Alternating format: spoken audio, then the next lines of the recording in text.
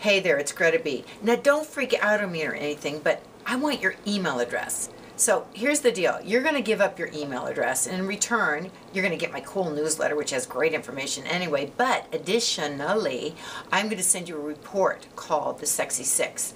It is guaranteed to put the sizzle in your whizzle. So give up that email address.